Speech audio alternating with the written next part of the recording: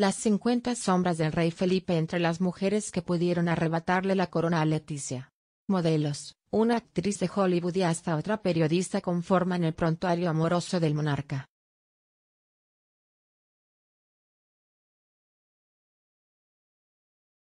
En las últimas semanas, el rey Felipe ha sido noticia más allá de sus apariciones protocolares gracias a las revelaciones que actualmente se pueden escuchar en el podcast de Spotify X-Ray cuya segunda y exitosa temporada estuvo basada exclusivamente en su figura a nivel político e institucional, con algunos destellos hacia su relación con la reina Leticia, y algunas historias compartidas que dieron mucho de qué hablar.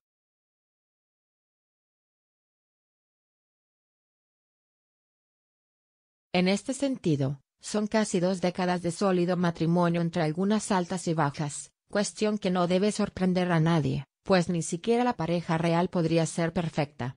Sin embargo, así como surgen estas historias sobre la gestión de los reyes desde sus días como príncipes de Asturias, también se desvelan otras mucho más personales, y que tienen que ver con su pasado antes de que la impetuosa consorte apareciera en su vida.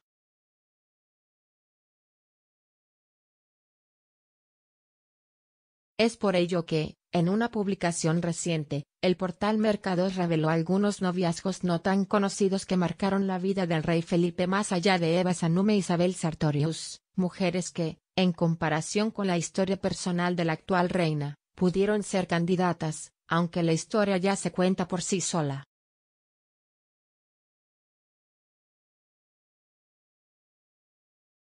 Una de las mujeres que pueden contarse entre aquellas que deslumbraron al monarca fue Victoria Carvajal, su primera novia al menos públicamente conocida. La historia se remonta a 1985, y los detalles de este vínculo sentimental son más que difusos.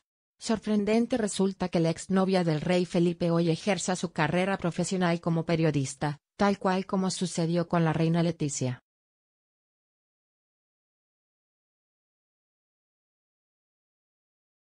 Cuatro años después, conocería a la hermosa aristócrata Isabel Sartorius, hija del marqués de Nariño.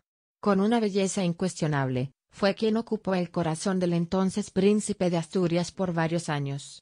Se dice que no era del agrado de los reyes, a pesar de su linaje, y de todas las parejas conocidas del rey Felipe, ella fue la única con ascendencia de origen noble.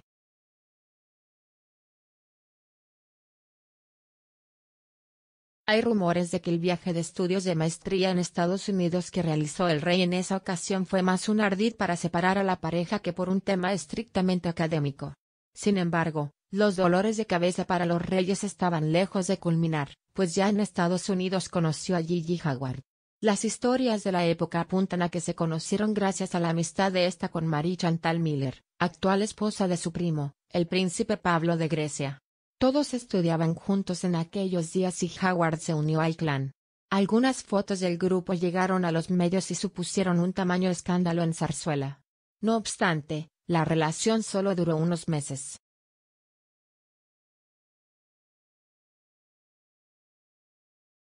Lo que los reyes claramente no esperaban fue que lo peor estaba por llegar de la mano de la modelo escandinava Eva Sandum, quien fue la primera mujer por la que el rey Felipe fue capaz de plantarse contra sus padres.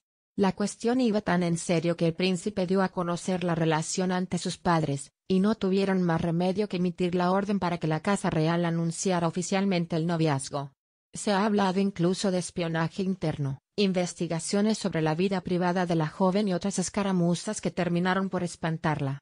A los meses, el rey Felipe anunciaba él mismo su separación de la despampanante modelo, quien, por cierto, es muy buena amiga de la princesa noruega Mette Marit.